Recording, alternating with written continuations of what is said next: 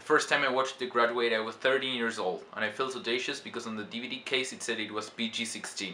I don't know if it was because I was still missing 3 years, but that first time I didn't fully understand it. Some years later I watched it again and it became one of my favorite films. And all thanks to a comedian, turned theater director, turned movie director. Mike Nichols passed away last month. These were my thoughts. I watched a couple of videos of his AFI Life Achievement Award and Dustin Hoffman told this anecdote. While shooting The Graduate, the scene of the first sexual encounter with Mrs. Robinson, he started laughing and he couldn't stop. So to cover it, he turned around and started banging his head against the wall. Mike Nichols decided to leave that take. I hope one day um, the actors I will direct can remember me that way, that funny and fond way.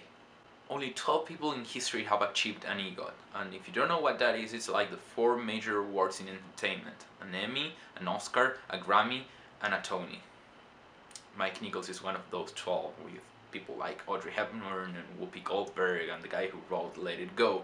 But he didn't just win one of each, he won 9 fucking Tonys. Not one, not two, 9. I recently found out about his theater career and that's mind-blowing because he was such an amazing movie director and such an amazing theater director it seems. When I started dating my girlfriend, I called her Mrs. Robinson because she's two years older than me.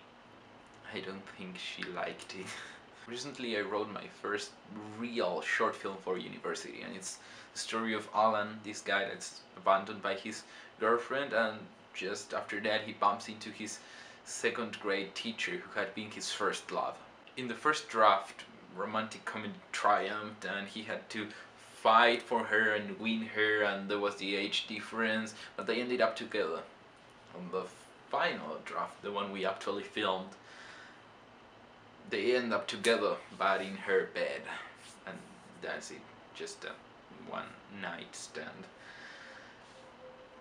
and when we did the casting for the actress there was like basically one direction you're Mrs. Robinson because she had been the sole inspiration for the character thank you Mike Nichols for making such amazing movies and for influencing my life this way I won't ever be able to thank you personally, but I swear that the day I win an Oscar, I'm gonna dedicate it to you, or at least try to convince my university group to dedicate our short film to your memory. I don't know which will be harder. Oh, and I almost forgot. Plastics.